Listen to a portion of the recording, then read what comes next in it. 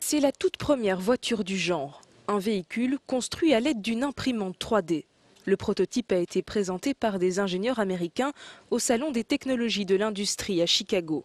Ces composants, faits de plastique et de fibres de carbone, ont été imprimés les uns après les autres.